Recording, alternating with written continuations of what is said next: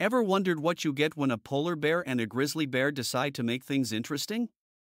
Well, say hello to the pizzly bear. That's right, if these two bears mate, their offspring is a unique blend of both species.